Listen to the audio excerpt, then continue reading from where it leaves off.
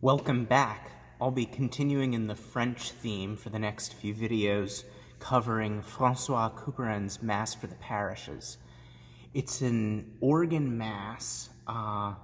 a piece comprised of movements, each corresponding to a part of a traditional mass, and it can be either performed all at once or the movements can be substituted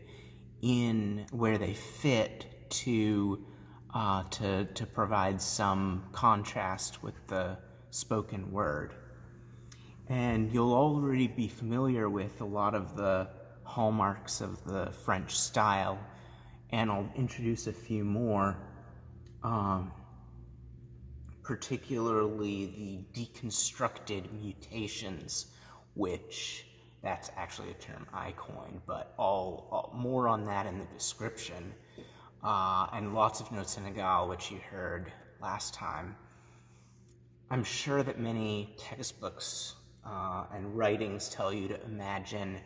a young person, uh, you know, when you when you're performing or hearing this music, a young person riding their bike along the Quai de la Seine with a baguette in the in the back and maybe a, a bottle of wine for later. But I've been instructed by two different teachers of mine who both studied with the same professor at NEC to imagine said professor, and don't try this ho- at home, uh, driving his little red convertible on Storrow Drive at 75 miles an hour, smoking a cigarette out the window, and with his long red scarf blowing in the wind behind him.